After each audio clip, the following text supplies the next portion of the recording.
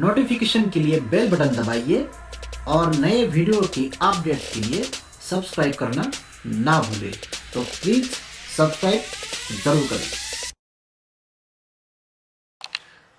नमस्ते दोस्तों, आपका स्वागत है मेरा YouTube channel hit short film में। आज के इस पार्ट में मैं आपको दिखाने वाला हूँ।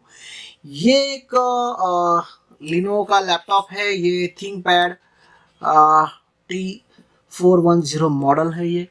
और इसका जो प्रॉब्लम है, वो फ़ैन का प्रॉब्लम है तो अभी चलो मैं इसे ऑन करता हूँ। तो जैसे ही मैं इसे ऑन करता हूँ तो यहाँ पे मैं आपको दिखाता हूँ कि लैपटॉप तो शुरू हो जाता है, लेकिन यहाँ पे आपको एरर दिखाएगा। जैसे अभी मैं आपको दिखा रहा हूँ यहाँ पे, ये आपको एरर दिखाने वाला है अभी। तो ये जो, इसका जो कीबोर्ड होता है, ये इस कीबोर्ड के ऊपर ही यहाँ पे ये जो पावर स्विच है ये इनबिल्ट पावर स्विच होता है ठीक है? तो देखिए यहाँ पे ये फ़ैन एरर आपको दिखा रहा है ठीक है? तो ये फ़ैन एरर जो है ये एरर हमें निकालना है।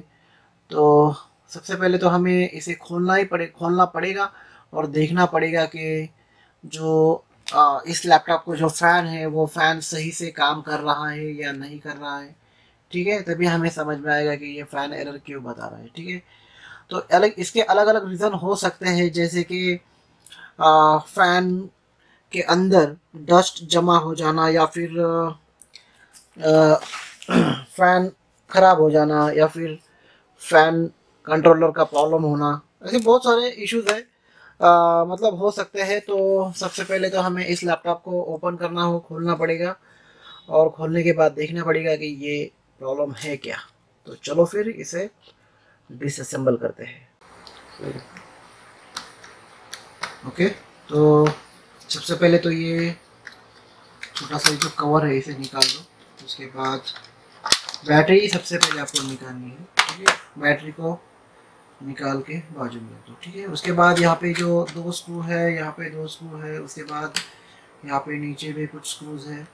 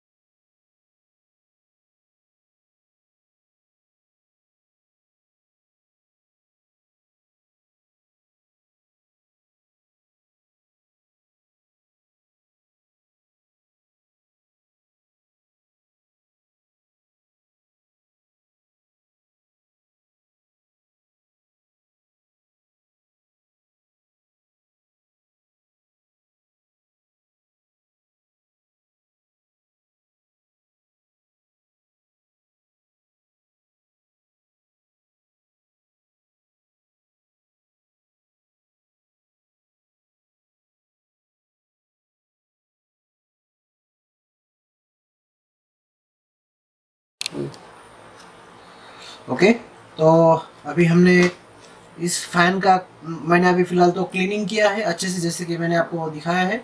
तो चलो फिर अभी इसे स्टार्ट करके देखते हैं।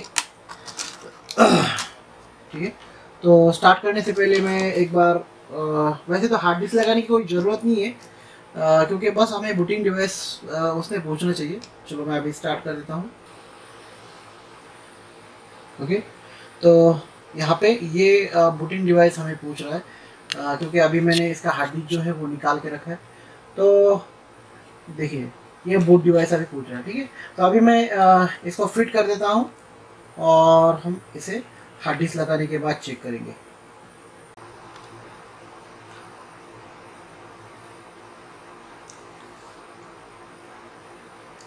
लैपटॉप स्टार्ट हो चुका है बूटिंग हो रहा है लैपटॉप कोई प्रॉब्लम नहीं है अभी फ़ैन एरर नहीं दिखा रहा है। आ,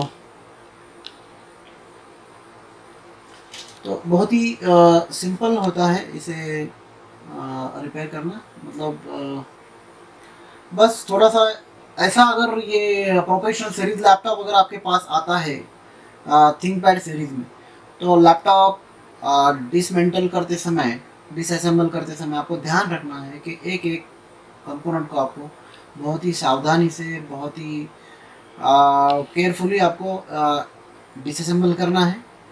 क्योंकि अक्सर होता क्या है कि आ, कभी कभी स्ट्रिप्स हो कीबोर्ड का स्ट्रिप्स हो या फिर आ, कुछ और स्ट्रिप्स हो तो मतलब वहाँ पे कट हो जाता है। तो कट होने के बाद आ, होता यह है कि वो कंपोनेंट हमारा बंद हो जाता है। वो जैसे अभी कीबोर्ड है, इसका टच पैड है, या फिर स्पीकर है, कुछ भी छोटा सा केबल भी अगर कट हो गया तो ये बंद हो सकता है। बस आपको यही ध्यान में रखना है। ठीक है? तो मैं उम्मीद करता हूँ कि आपको ये वीडियो अच्छा लगा हो तो प्लीज़ इसे शेयर करें सब्सक्राइब करें हमारे चैनल को और देखते रहिए hit short film thank you